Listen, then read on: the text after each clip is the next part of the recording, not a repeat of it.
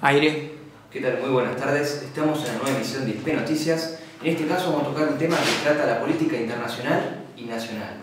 Se trata de una premiación que le harán al presidente Mauricio Macri, así como escuchó.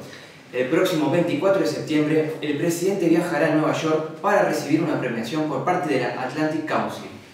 Si bien la premiación se llama Global, Global Citizen Award, que es una premiación que se le ha realizado también a cantantes como Bono, por su actividad, eh, por su labor activista, a expresidentes como George Bush, Bill Clinton, eh, el primer ministro canadiense, eh, Justin Trudeau, entre otras figuras del ámbito internacional, político, de la música, entre otros.